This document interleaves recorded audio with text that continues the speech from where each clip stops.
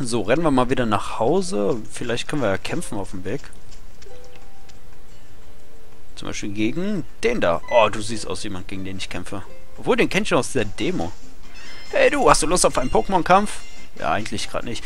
Nicht so voreilig. Bevor mir jemand zum Pokémon-Kampf herausfordert, sollte man sich vorstellen. Das machen die. Das wird nie gemacht in diesem Spiel. Oder generell in Pokémon-Spielen.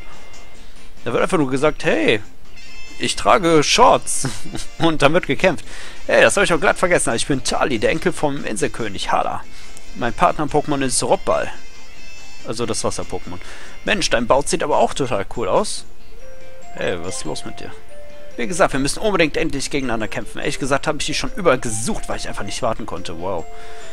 Ich schaue mir Kämpfe nur ungern an. Ich mag es nicht mit anzusehen, wenn Pokémon sich verletzen. Aber ich werde dich anfeuern. Du kannst auch genauso gut gehen. Ui, das wäre dein erster Pokémon-Kampf. das war gerade voll böse, was ich gesagt habe. Denke mal daran, dass die Wahl äh, des Best der besten Attacken über einen Sieg und Niederlage entscheidet. Ich hoffe, du nimmst die Herausforderung meines Enkels an. Wenn ihr beide euer Bestes gebt, könnte das ein wahrlich fessendes Duell werden. Ich würde sagen, ich bin fett im Typ Vorteil, also komm. Ja, okay. Ich darf sogar mich entscheiden. Das ist ja nett. Unser erster Kampf. Alles klar. Let's go. Boah, erstmal ein bisschen dehnen. Hier kommt Robball. Okay. Und die Trainer sieht man auch während des Kampfes. So, ähm, wow. Ähm, ja. Ich habe das Interface zwar schon mal gesehen, wegen der Demo, aber es ist jetzt auch schon ein bisschen her. Und ich kann mir Informationen angucken. Jederzeit. Das ist nett. Okay, wir machen äh, Blattwerk. Ich glaube, die Attacke ist neu. Okay, go. Wow. Ich würde sagen, du hast keine Chance, mein Freund. Ich darf sogar zuerst. Diesmal. Toller Kampf. Okay, na war ja zu erwarten. Normalerweise fängt man ja immer im Typ Nachteil an gegen den Adam, deswegen... Das ist nett. Wow. Das sind meine neuen Werte. Fantastisch. Oh, wow. Die Musik kenne ich. Ah. Wow, du hast echt drauf. Das war auch dein Name, Marco, oder? Dein Baus ist so cool. Alles klar, morgen beim Fest gebe ich alles. Oh, wow, du, dürfte ich den Glitzerstein, den du hast, mal kurz sehen? Wow, der hat den echt durch die Tasche erkannt.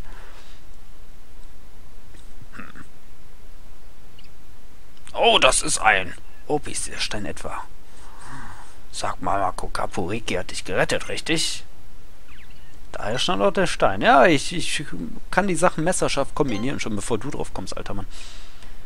Ich verstehe, du wurdest also nicht nur gerettet, sondern hast auch den Stein erhalten. Ich habe das Gefühl, es war Schicksal, dass du nach Alola gekommen bist, Marco. Wenn du nichts dagegen hast, würde ich den Stein eine Weile an mich nehmen. Nein, das ist meins. Keine Sorge, du bekommst ihn gleich morgen wieder zurück. Benutzt. Ugh. Du hast eindeutig Talent als Trainer. Deshalb würde ich dir dringend ans Herz legen, morgen an unserem Fest teilzunehmen. So, Marco, Zeit zurückzugehen. Ich begleite dich noch bis nach Hause. Lilly, du kommst am besten auch mit. Wir wollen schließlich nicht, dass ein kleiner Schützling in Schwierigkeiten gerät. Da haben Sie recht, Professor. Ich werde gut auf Wölkchen aufpassen. Ja, am Arsch. Ja, ich bin jetzt hier hinten, du Trottel. Hast du vergessen, was ich gesagt habe? Du sollst in der Tasche bleiben. Das hat die schon fünfmal oder viermal gesagt. Und trotzdem ist das Viech nie in der Tasche. Okay, back at home. Was geht ab? Oh, da bist du wieder. Und welches Pokémon hast du bekommen? Los, zeig schon. Den da. Wow, das ist ja ein tolles Pokémon. Warum hast du dich für dieses entschieden? Ganz ehrlich, weil es süß ist. Habe ich doch eben auch gesagt. Oh, da hast du genau die richtige Wahl getroffen. Dieses Pokémon ist nämlich süß und cool. Wahrscheinlich hätte ich es auch gesagt, wenn ich cool gesagt hätte. Ähm, ihr passt bestimmt ganz wunderbar zusammen. Das zaubert mir ein Lächeln ins Gesicht. Ah, kämpfen. Nein, natürlich Freunde werden. Was denn noch sonst?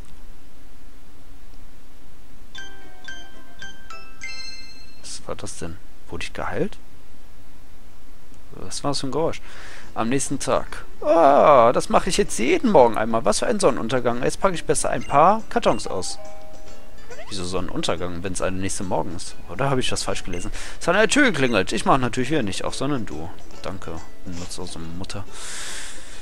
Ah, okay, ich renne ja schon. Ey, okay. Ich meine, eine Klingel ist auch dafür, dass man hier einfach reinstimmt, oder was? Hallo, Marco, es wird Zeit an der Gehen, die Festlichkeiten rufen. Aber zuerst, jetzt wo du ein echter Pokémon-Trainer bist, muss ich ja unbedingt etwas zeigen. Komm, wir machen einen kleinen Abstecher zur Route 1. Gibt es wieder Kämpfe, oder was? Pass schön auf und viel Spaß. Das wird sicher lustig, zusammen mit deinem neuen Pokémon. Mauzi und ich kümmern uns erstmal weiter ums Auspacken. Ja, Miauz, genau. Okay, dann wollen wir mal. Lass mich raten, ein Tutorial, wie man Pokémon fängt. Komm schon mal, komm nicht so langsam. Ein paar Pokémon-Attacke, äh, eine, äh, wenn es eine Pokémon-Attacke auszudrücken, mach mal Turbo-Tempo. Haha. Leute, wenn ihr auf der Straße so redet, dann werdet ihr verprügelt. Ist das jetzt Abend oder Tag? Ich, oder Morgen? Ich check das gar nicht. Wieso muss er mir jetzt beibringen, wie man Pokémon fängt? Ich weiß das schon seit... Seit... seit wann weiß ich das? Seit Anfang der 2000er weiß ich schon, wie man Pokémon fängt. Und der erzählt mir irgendwas. Wie du sicher weißt, können im hohen Gras wilde Pokémon lauern. Aber nun hast du ja Baus an deiner Seite. Du kannst jetzt also nicht nur gegen wilde Pokémon kämpfen, sondern sie auch fangen. Ich zeige dir eben, wie man wilde Pokémon fängt, also pass gut auf. Ja, wie gesagt, seit 2001, glaube ich, weiß ich, wie man Pokémons fängt. Und jetzt will er es mir nochmal beibringen. Okay, aber warum nicht? So, jetzt wohl die wilde Pokémon-Kampfmusik. Wuffels Pepek. Okay, erst muss man das nämlich schwächen. Ja. Und dann muss man einen Pokéball drauf werfen. Ja, das wird jetzt in dieser kleinen Textbox nochmal zusammengefasst. Für die nicht so schlau. So. Schön langsam. Der Kerl hat natürlich 50 Stück davon.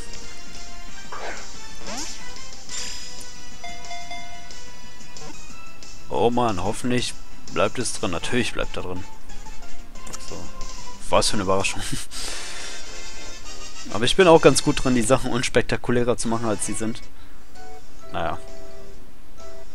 Oder zumindest so unspektakulär, wie sie tatsächlich sind. Na, das war doch nicht so schwer, oder? Manchmal greifen wilde Pokémon dich an, aber wenn du sie fängst, können sie verlässliche Mitstreiter werden. Und wenn deine Pokémon mal fix und fertig von vielen Kämpfen sind, mach sie zu Hause, mach zu Hause eine Pause.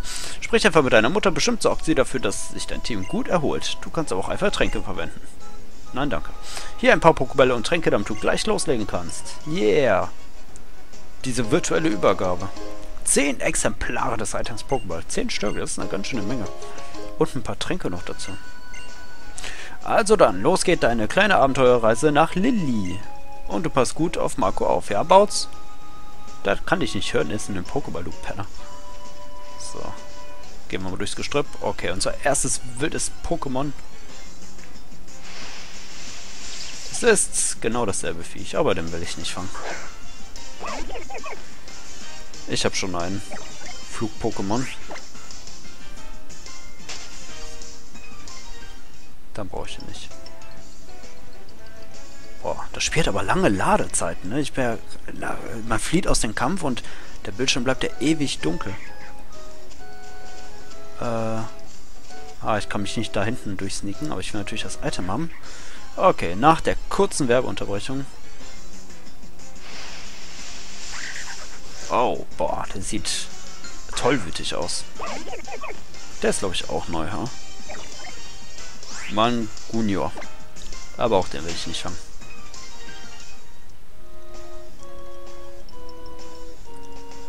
So, was ist denn das jetzt? Ein Trank! Yeah, jetzt habe ich schon sechs Stück davon. Fantastisch. Oh, was geht denn jetzt? Kämpfe? Ich kämpfe gegen diesen Stinker da hinten. Was glaubt er, wer der ist? Oh, ich schmeiß meinen Pokéball hin und her. Hey, ich hab dich gesehen. Wenn sich die Blicke von zwei Trainern treffen, fliegen schon bald die Fetzen. So, stellt er sich vor? Hat er gesagt, wie der heißt? Okay, doch, das steht ja dann. Da. Okay, im Prinzip. Aber sie sagen es nicht. Äh, ich weiß es einfach. Er heißt Max. Knirps. Oh, er hat ein Radfahrt. Wie cool. Ach, der hat so ein Radfahrt. Was? Der hat ein Schnurrbart. Was zur Hölle? Das wusste ich jetzt aber auch nicht. Okay, ist das jetzt ein Unlicht-Pokémon oder ist das noch normal? Ach, wer weiß das schon. Okay, hauen wir drauf. Kann man das nicht in diesem Spiel rausfinden eigentlich? Steht das da nicht immer irgendwo, was für ein Typ die haben? Moment. Wenn ich den jetzt anklicke... Nee. Aber da sind diese Werte von uns allen. Also Angriff, Verteidigung und dann steht, ob die gestärkt oder geschwächt sind. Jetzt sind hier überall Punkte, weil die halt neutral sind. Also zum Beispiel, wenn ich jetzt Heuler mache, dann würde bei dem, glaube ich, da ein Zeichen runtergehen für Angriff. Sowas, damit man das auch sehen kann. Das ist ganz neu, das gab es vorher noch nicht. Aber eigentlich schon fast ein bisschen zu spät. Irgendwie, das hätte man schon viel früher mal gebraucht. Aber schön. Ich habe verloren, der Kampf war trotzdem total aufregend. Und jetzt haben die Charaktere auch so 3D-Modelle. Wisst ihr, bei äh, hier XY und Omega Rubin und Alpha Saphir, da waren das einfach nur so, ja, Bilder. Also hier sieht das schon mühselig, also Mühe, Mühe gemacht aus. Okay, Hauptsache ich stehe hier wieder irgendwie hinten. Achso, oh, die Musik wird leiser und ich, ich krieg schon so eine Warnung. Vorsicht, gegen dich kämpfen werden. Und ich will sneak dich da hinten rum. Ey, scheiße. Aber ich wollte eh kämpfen. Ich verstehe mich so gut mit meinen Schwestern, das musst du gesehen haben. Deswegen kämpfen wir. Wie du willst. Göre Yui fordert dich heraus. Was hat die so Schönes? Ein Raupi. Sieht das auch anders aus? Na, es ist ein gutes altes Raupi. Gut. Ich mag das, ähm, dass jetzt nicht nur diese neuen Pokémon kommen, sondern auch mal ein bisschen was, was man schon mal gesehen hat. So eine Mischung aus beiden. Aber das war auch schon bei X und Y so. Das einzige Spiel, was meiner Meinung nach so reingeschissen hat, ist äh, Schwarz und Weiß. Schwarz und Weiß 1. Weil die haben wirklich echt nur ausschließlich mit diesen neuen Pokémon aus deren Generation irgendwie was zu tun gehabt im Spiel und das fand ich schon scheiße, aber irgendwie hat mir... Ich weiß nicht, das Spiel kam mir sehr fremd vor einfach. Ich habe es auch nur einmal durchgespielt. Ich habe eigentlich... Ja... Äh, was? Ich kann es pflegen? Kann ich es jetzt pflegen? Warum steht Pflegen da? Ich check das nicht. Oh. Ach, ich kann den putzen. Das ist ja toll. Das Muss ich das nach jedem Kampf jetzt machen? Komm. Putz, putz, putz. Ja, dann nicht.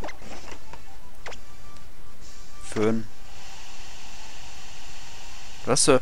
Wa warum passiert das hier überhaupt gerade? Kann man nicht einfach einen Kampf gewinnen und gut ist? Was ist das überhaupt? Halt Statusproblem, okay. Komm, wir kämmen den mal. Wie kriege ich das Zeug von dem weg? Ich weiß gar nicht mehr. Oh, das klappt. Was ist das? Handtuch. Das klappt auch nicht.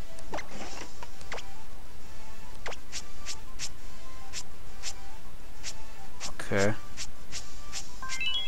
Ah, sauber. So. Okay, das, das war das einzige Mal, dass ich das gemacht habe. Das ist mir zu doof.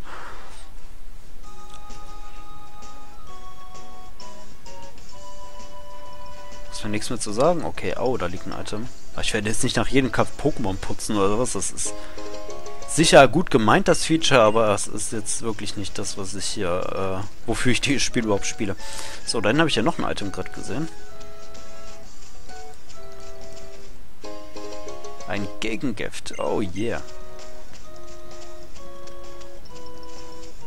So. Hey, das Fest in Lily fängt gleich an. Nichts wie hin. Ja, Nö.